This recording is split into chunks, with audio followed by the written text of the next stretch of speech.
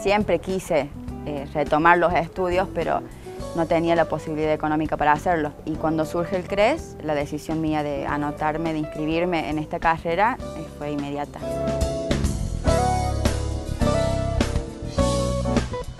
Los docentes son este, muy comprensivos también. Sí, me costó un poco porque yo le había perdido como el ritmo eh, al estudio. Cuando yo no tengo con quién dejar los chicos, eh, si tengo que venir a cursar, los traigo. Vienen chicos de, Cruz del Eje, de Quilino, de Las Asias, de Totoral, viene gente de todos lados. En Dionfunes eh, vamos a ser la primera generación que vamos a salir con un título universitario. De eso estoy totalmente agradecida del CRES.